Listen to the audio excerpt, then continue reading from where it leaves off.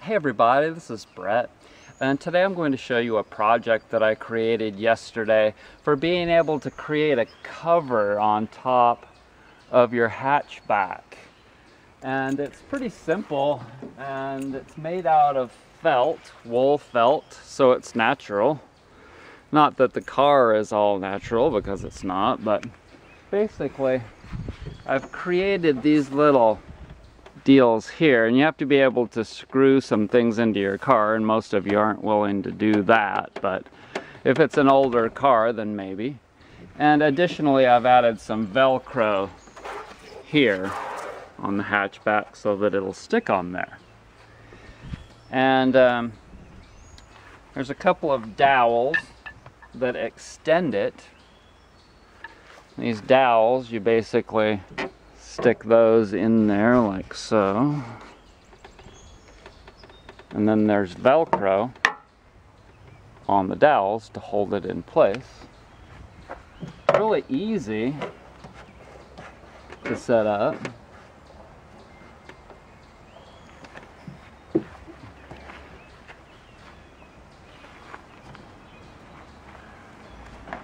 Show me here, Grace. Okay, so you just stick it on there.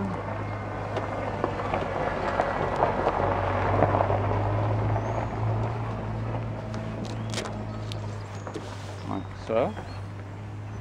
Lift the hatch and come under here and stick the Velcro there and there. And there you go. That's all there is to it. Make it a little, little tighter, I guess.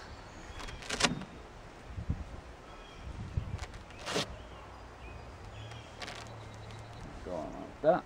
And then you can sit. As you can see, the sun is straight up. Go ahead and show where the sun is.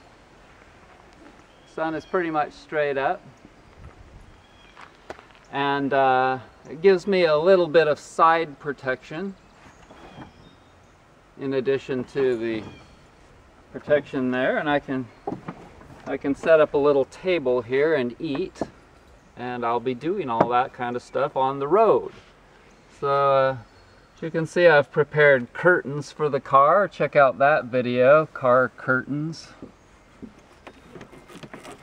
There you go and I've got a fridge for the car and uh, you know all the camping gear and cooking abilities. So we'll see you on the road. Thanks for joining me. Bye. I wanted to explain the reason why I chose wool as the fabric for this. And it's because if it's raining on me and it gets wet then this will still dry even when it's all rolled up.